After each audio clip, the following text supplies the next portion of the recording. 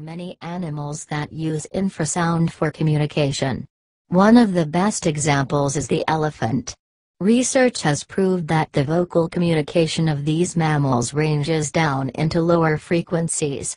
As a result, the sound waves get carried farther, and reach elephant groups that are located very far away.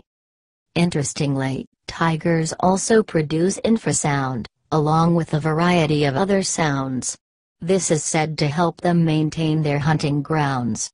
Their low-frequency sounds at 18 Hz and below, most of which are inaudible to humans, drive away rivals from their territory, and also attract mates. Such sounds not only cover long distances, but also penetrate dense forests.